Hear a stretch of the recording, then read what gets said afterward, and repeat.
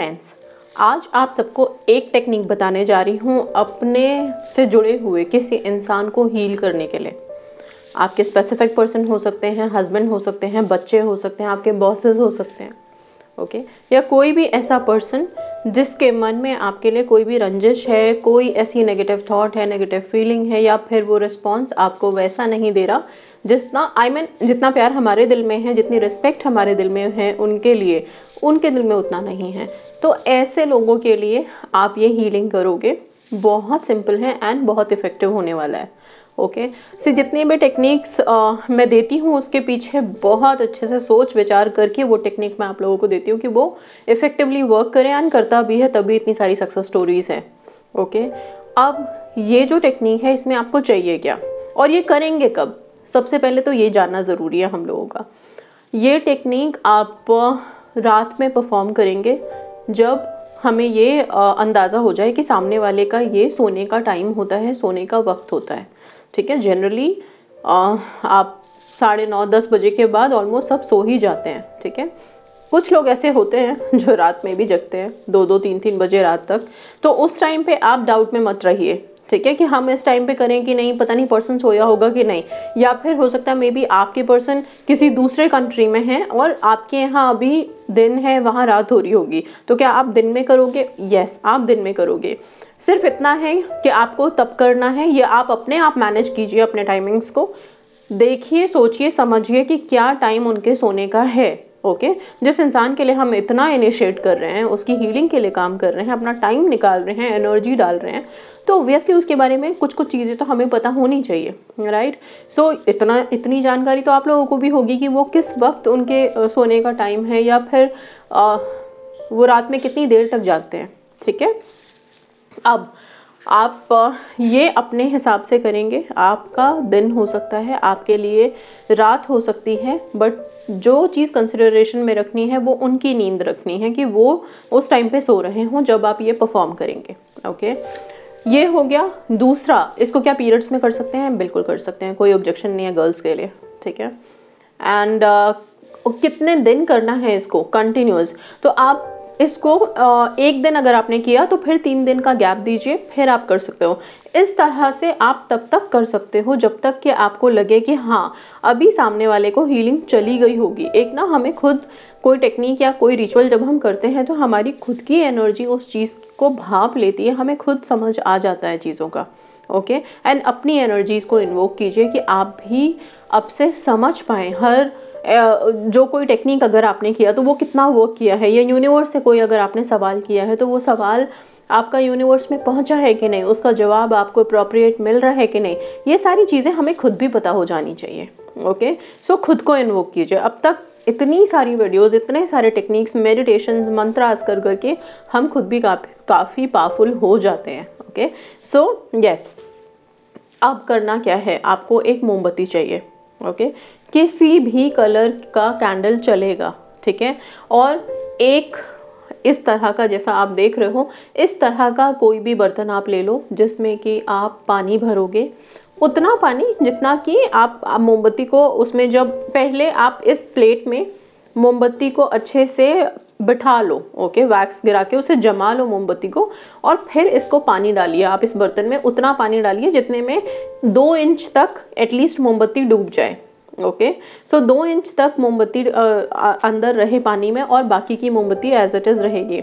अब आपको सबसे पहले इस मोमबत्ती को इसमें बिठाने से भी पहले मोमबत्ती पे उस पर्सन का नाम कार्व करना है जिसको आपने हीलिंग भेजनी है।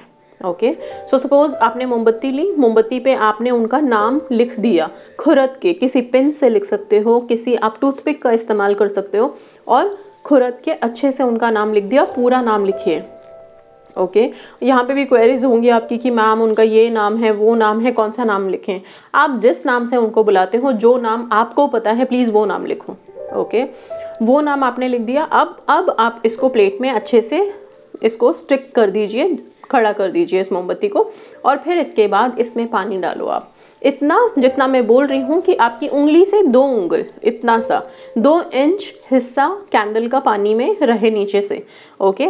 अब आप इस मोमबत्ती को जला देंगे। जलाने के बाद आराम से बैठेंगे और सिर्फ़ आँखें बंद करके उस इंसान को विजुअलाइज करेंगे, जिस इंसान के लिए आप ये कर रहे हो, ओके? और फिर ये पे, आपके स्पेसिफिक पर्सन के पेरेंट्स भी हो सकते हैं। क्योंकि बहुत बार लोग मुझे लिखते हैं कि, मैम, उनके पेरेंट्स सिर्फ़ नहीं मान रहे, उनके पेरेंट्स बहुत रिजिड हो गए हैं तो उनके लिए भी आप कर सकते हो। ठीक है? कैंडल में एक्चुअली वाटर एलिमेंट होता है, ठीक है? और उसकी सतह पे भी आपने पानी भर दिया है। पानी की अपनी एब्जॉर्प्शन पावर्स है, ठीक है? कैंडल का अपना एक मैजिक है, उसमें फ्लेम है फायर एनर्जी है वाटर एनर्जी है। साथ में जब वो मेल्ट होता है ओके तो एक अलग सी एनर्जी इनविजिबल वाली निकलती है उसमें से। ओके अब अब आप क्या करोगे? इसे आराम से कहीं पे भी सेफ़ जगह पे आप इसे जला के बैठें। और फिर आप इस मोमबत्ती की लौ को या तो एक तक निहारते हुए सिर्फ़ उस इंसान को विजुअलाइज करें और जैसे जैसे ये वैक्स मेल्ट होते हुए आप देखेंगे ओके पहले आँखें बंद करके उनका चेहरा विजुअलाइज कर लीजिए। इसके बाद अपनी आँखें खोलिए। इस लॉ को ध्यान से देखिए और जैसे जैसे आप वैक्स मेल्ट होते हुए देखेंगे, वैसे वैसे आपको सिर्फ़ इतना विजुअलाइज करना है कि ये जो पर्सन है, जिसका नाम आपने कैंडल पे काफ किया है, इसका दिल भी आपके लिए सेम ऐसे ही मेल्ट हो रहा है। आपके लिए जितनी भी हार्ड फीलिंग्स हैं इसके दिल में, वो सारी मेल्ट हो रही हैं। ओके सो ये बहुत मेराक्यूलस होने वाला है। आप इसको एक मिनट के लिए विजुअलाइज कर सकते हो। एक मिनट का टाइम लगा लो और एक मिनट की विजुअलाइजेशन रखिए और इसको मेल्ट होते हुए देखिए। मोमबत्ती क्या पूरी जलने देनी है? बिल्कुल भी नहीं। जैसे ही आपको लगे कि मेरी विजुअलाइजेशन कंप्लीट हो गई है और ये पर्सन के लिए अभी फ़िलहाल इतना ठीक है, आप मोमबत्ती को बुझा देंगे। निकाल करके मोमबत्ती, इसी मोमबत्ती को सेफ़ रख दीजिए।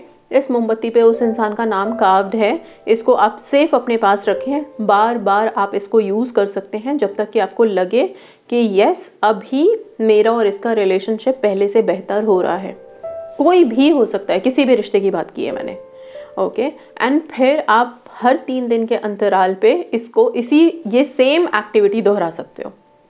ठीक है? सो बार बार बार बार जब हम एनर्जीज को इस तरह से यूज़ करेंगे तो आप देखेंगे सामने वाले इंसान जिसका नाम आपने काफ करके ये किया है उसको काफ़ी हद तक आपकी तरफ़ से एक पॉजिटिविटी बिल्ड होने लगेगा मन में और फिर आ, कोई भी हार्ड फीलिंग्स नहीं रहेंगे।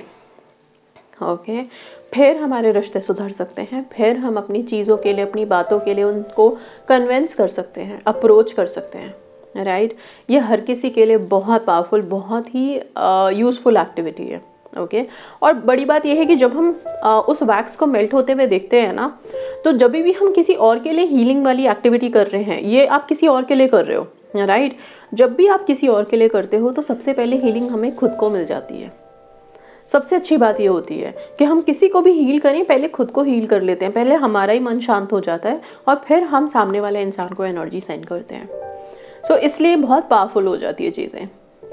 ओके सो इसको अपने अपने रिलेशनशिप्स में या फिर अपने अपने जिस भी इंसान के लिए यूज़ करना है आप करिए एंड या डिफरेंस देखिए अपनी लाइफ में। So that's all thank you so much and God bless you all